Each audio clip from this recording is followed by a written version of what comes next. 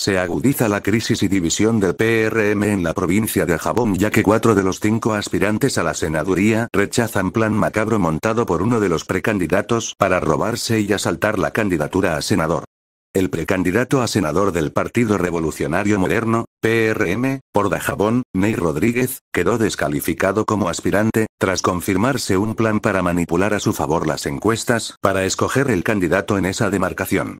Según informaciones ofrecidas por una fuente a este medio, la organización política está buscando soluciones en cuanto al hecho, y por eso no han publicado la candidatura.